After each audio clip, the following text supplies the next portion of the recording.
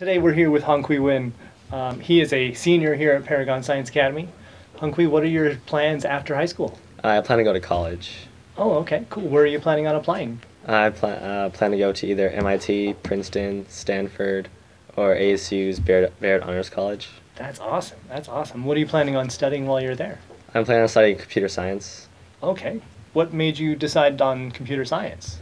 Um, my dad's an engineer, and also I grew up around a lot of like tech savvy people, and computer science is pretty interesting. So, That makes sense. All right. Um, what advice would you have for incoming students at Paragon?